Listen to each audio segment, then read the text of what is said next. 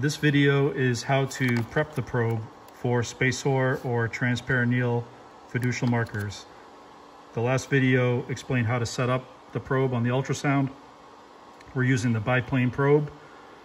And for these procedures, we use just the regular NeoGuard transducer cover that we use for fusion biopsy. Uh, we only use one cover as opposed to two for these procedures. And we will use the rubber bands, so make sure the staff doesn't throw out the rubber bands. But you only need one cover.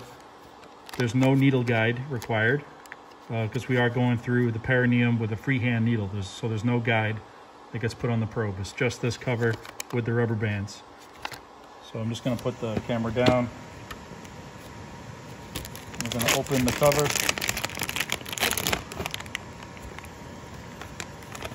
We're gonna keep the rubber bands aside.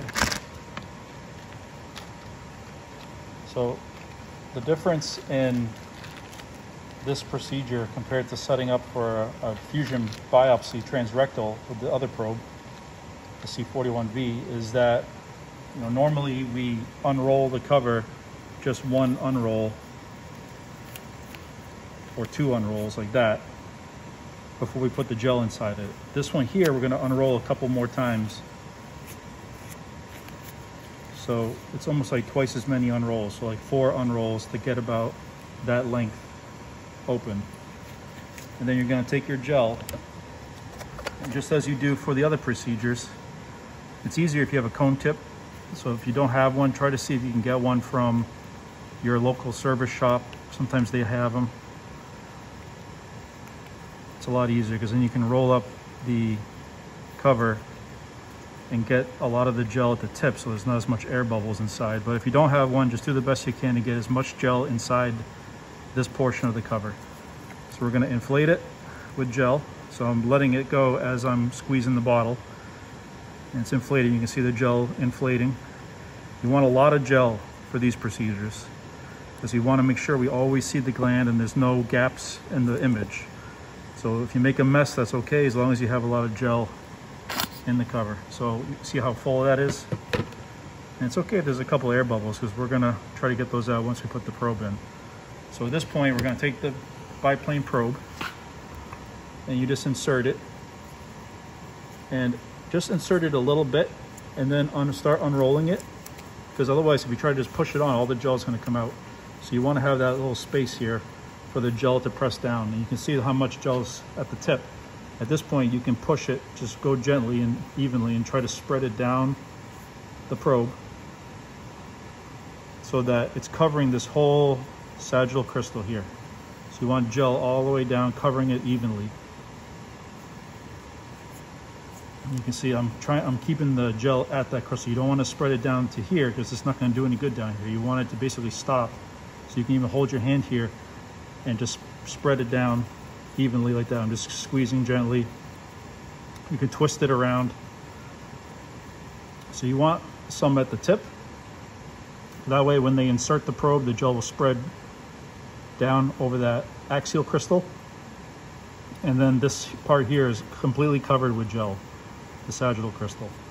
So at this point, we're gonna put the rubber bands on. So what I do is I kind of twist this part here so it makes it a little bit like the gel's being pushed back up so it's not gonna spread down. So you can twist it a few times around. And this part's a little tricky because these rubber bands are very tiny, but you can take the rubber band go over the probe till about here. And then this part here is tough because sometimes the rubber band breaks, but try to be gentle, gentle. Don't pull it too tight, it'll snap. Turn it one time over and then try to come up and you can push with the gel like that over. And sometimes you have to use your fingers and kind of spread it so it can work down a little bit and then let go. You can see a little bit of gel went past it, but that's okay. Most of it got held. So you want the rubber band like maybe an inch and a half below the sagittal crystal. So now when the doctor inserts the probe, if the rectum is a little tight and the gel pushes, it's not gonna all push down, it's gonna stay here.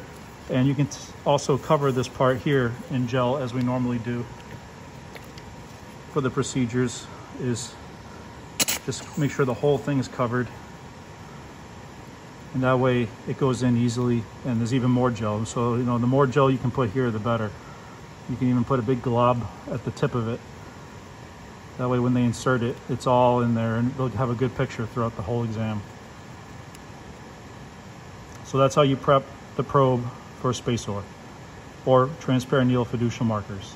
Same way, no needle guide, just one cover, using the rubber bands, making sure that the gel is completely spread over the sagittal crystal and at the tip of the probe, about you know inch, inch and a half of gel. That way it covers the axial crystal. So this concludes how to prep the probe for the procedure.